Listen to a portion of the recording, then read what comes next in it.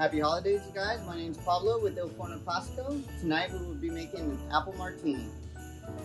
First, you get your ice, Grey Goose vodka,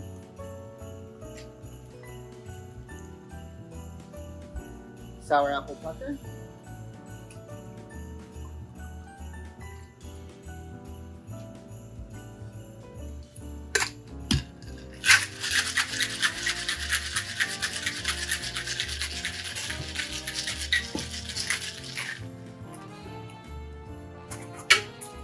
strain.